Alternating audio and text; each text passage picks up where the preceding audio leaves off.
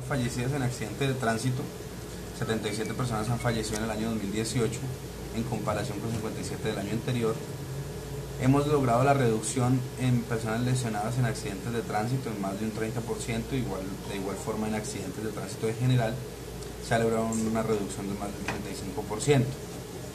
La hipótesis que más se presenta en el caso de las personas que fallecen en accidentes de tránsito es el exceso de velocidad el invadir carril, adelantar en un lugar prohibido y la pérdida del control del vehículo. Cuando hablamos de la pérdida del control se relaciona con microsueño, con falta de pericia en el manejo u otros objetos o elementos que en la vía nacional hacen perder el control o en las vías urbanas o terciarias.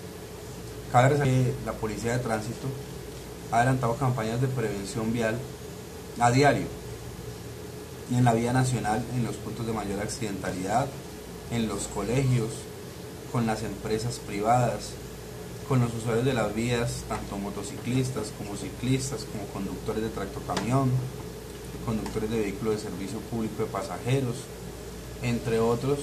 Hemos estado nosotros adelantando estas campañas con el fin de mejorar la conciencia ciudadana acercar más a todos los habitantes del departamento al cumplimiento de las normas de tránsito.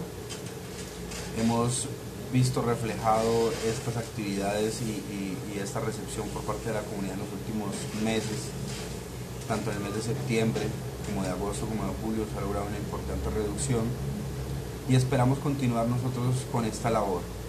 Por lo tanto invitamos a todos los alcaldes, a todas las entidades privadas, a todas las entidades estatales, a que se unan a esta labor que estamos haciendo en coordinación con la gobernación, en coordinación con la concesión, en coordinación con las empresas. Vamos a continuar mejorando este tipo de actividades lúdicas y pedagógicas. Tenemos una mesa de movilidad en el departamento, estamos trabajando con la Secretaría de Salud, estamos trabajando con la Dirección de Tránsito departamental y el objetivo es cada día poder reducir más la tasa de accidentalidad. Es importante que en los municipios, en los cascos urbanos, en las vías terciarias, también se adelante esta labor por parte de las autoridades en coordinación con la policía, ya que estamos prestos para trabajar de manera conjunta. Hemos solicitado de manera escrita y pública a todos los alcaldes hacer convenio con la policía de tránsito para poder ejercer el control operativo en cada uno de los municipios. Sabemos de la disposición que tiene la gobernación en este momento Estamos esperando a que se liquide el convenio que finalizamos. Ellos están en, este proceso jurídico y en la etapa contractual para poder pagar el convenio que ya finalizó y así poder iniciar el nuevo convenio. Mayor, en el caso de las muertes en accidente de tránsito, ¿cuáles son los municipios donde más se han presentado este tipo de casos y qué decirle a la gente que de una u otra manera pues sigue infringiendo las normas de tránsito? Los municipios de mayor accidentalidad es Yopal, Agua Azul, Villanueva y Palderiporo.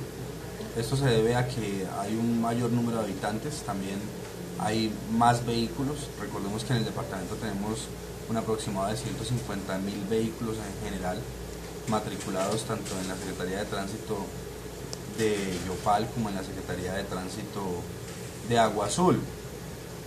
Allí hablamos de motocicletas y vehículos. Lo que quiere decir que existe un tránsito constante, la compra de motocicletas y el uso de las motocicletas se incrementa cada día.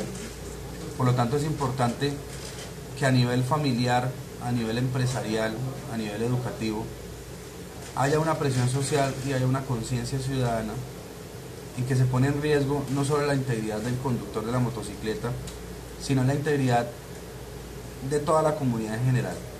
Cuando una persona adquiere un vehículo y no cumple las normas de tránsito, cuando no tiene la licencia de conducción, cuando no está capacitado para conducir cualquier tipo de vehículo de acuerdo a la modalidad, cuando no utiliza los elementos de seguridad, tanto activos como pasivos del vehículo, cuando no se revisa la condición técnica, la condición eléctrica, la condición mecánica de la motocicleta y del vehículo ya que esto origina accidentes y en muchas ocasiones los peatones o otros usuarios de la vía que no tienen relación con el conductor terminan siendo afectados por esta irresponsabilidad.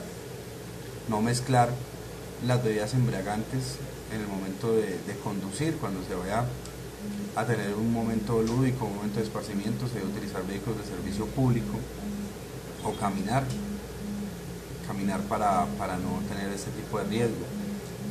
Cumplir en general todas las normas de tránsito en la vía nacional, en los cascos urbanos, en la señalización, los límites de velocidad, el parqueo en los lugares que, que son permitidos, y acudir a la policía de tránsito en caso de que se tenga algún requerimiento para poder apoyarlos oportunamente. ¿Qué estrategias se van a implementar para disminuir la mortalidad pues, en accidentes de tránsito? Estamos adelantando campañas de manera conjunta a diario en los sitios de mayor accidentalidad, especialmente en la vía nacional. Estamos adelantando coordinaciones con la gobernación, con la concesión, para trabajar de manera conjunta en materia de prevención Estamos difundiendo en las empresas, en los colegios, la importancia del cumplimiento de las normas de tránsito. Mm, mayor que lo que pasa con el convenio, ¿por qué no se ha reactivado en los diferentes municipios? El convenio, existe la disposición de la gobernación para realizar el nuevo convenio.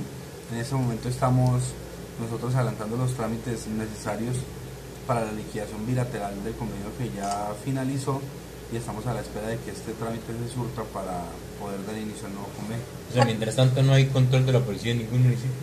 Mientras tanto no tenemos control operativo en ningún municipio. Actualmente, ¿cuánto deben las administraciones pues, a la policía por el servicio de tránsito? Existe un presupuesto que no se ha ejecutado, que ya, como lo acabo de decir, está la total disposición de la gobernación para ejecutarlo. Son 352 millones. Estamos en este trámite de liquidación bilateral y el municipio de Yopal adeuda 200 millones a la policía de tránsito, lo cual ya se instauró la demanda para dar trámite al pueblo ejecutivo. ¿Ante qué instancia se hizo esa demanda? Ante, el, ante la autoridad competente, en este caso el, la jurisdicción administrativa del municipio de Yopal. Mayor, en ese orden de ideas se podría decir que eh, más o menos transcurriría un mes aproximado para que los municipios contaran nuevamente con el servicio de policía de tránsito un aproximado de dos meses a tres meses realmente es lo que tarda la ejecución del presupuesto en materia contractual, el desarrollo del, proceso contractual y la suscripción del nuevo convenio. Esperamos que todo salga de acuerdo a lo que tenemos planeado. Es decir, que estaría en riesgo el mes de diciembre, que pues incrementan las fiestas y el mayor tráfico de vehículos en diferentes municipios y en las principales vías.